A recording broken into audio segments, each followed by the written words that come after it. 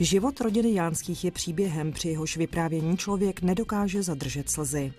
Osud je tvrdě zkoušel hned v několika etapách.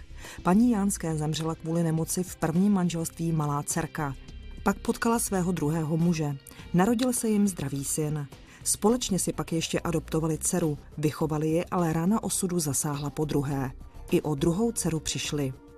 Život je ale zkouší dál. Paní Jánská je vážně nemocná.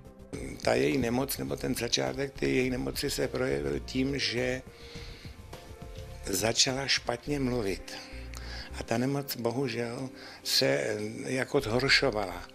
No tak byla hospitalizovaná asi 9, 9 nocí nebo 9 dní v nemocnici, kde teda se oni perfektně starali, udělali určitá vyšetření, Ovšem eh, konec je, nebo eh, prostě ten konec je takový, že se neví úplně přesně, ale předpoklad je, že to je vochrnutí eh, určitých nervů prostě v tom krku.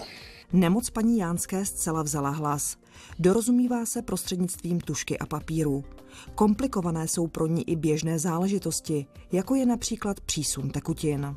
Dá se říct, že musí to okolí, včetně teda mě, mít tu trpělivost.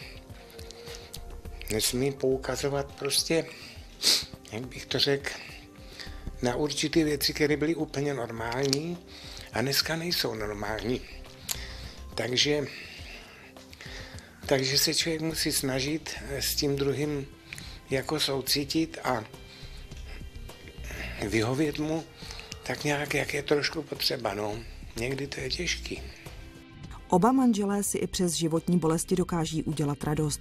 Společně chodí na zahrádku, sledují společenské dění. Přes 40 let společného života je naučilo velké trpělivosti. Hradec Králové mají rádi. Bydlení si vyzkoušeli na několika místech východočeské metropole a město by neměnili. Mamka je letítý hradečák nebo od narození hradečák, já jsem bývalý pardubák a jsme tady 37 roků a nám se teda Hradec líbí.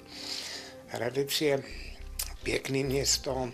I paní Jánská nám na papír tuškou napsala, jak se jí v Hradci Králové žije. Cituji. V Hradci Králové se krásně žije. Je dobře situován architektonicky a v této tradici pokračují i dnešní zastupitelé. Pozitiv je hodně. Co bych ale chtěla vyzdvihnout, je hradecká charita. Několikrát nám pomohla. Její sestřičky rozdávají péči a lásku a my jsme vděční za jejich úsměv i laskavé ruce. Moc děkujeme.